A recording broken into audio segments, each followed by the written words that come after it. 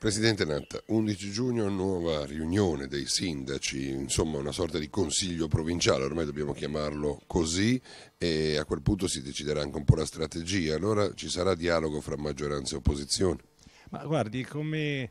eh, diciamo sempre detto in questo mese da quando mi sono insediato l'ente provincia ha cambiato davvero pelle e l'ho sperimentato, posso confermarlo appunto dopo un mese di, eh, di presidenza, cioè proprio la struttura della provincia è completamente cambiata da un punto di vista istituzionale. Già questo diciamo assemblea dei sindaci che è chiamata a dare un parere sul bilancio, sullo schema di bilancio consuntivo che è stato già adottato dal Consiglio, è un organo nuovo, un organo che ha bisogno anche di essere regolamentato nel suo funzionamento e su questo stanno lavorando gli uffici, tanto per dire come dobbiamo diciamo così, andare a creare diritto per quanto riguarda il nuovo ente provincia.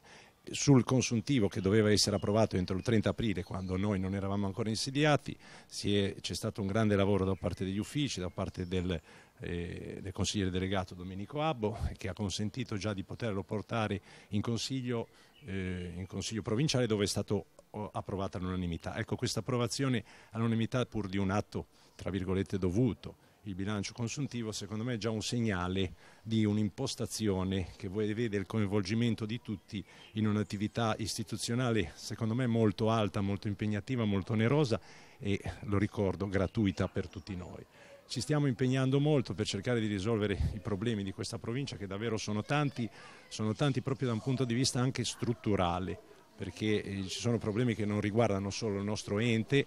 eh, ma riguardano tutte le province italiane. Uno in particolare vorrei evidenziare che è quello stato di predissesto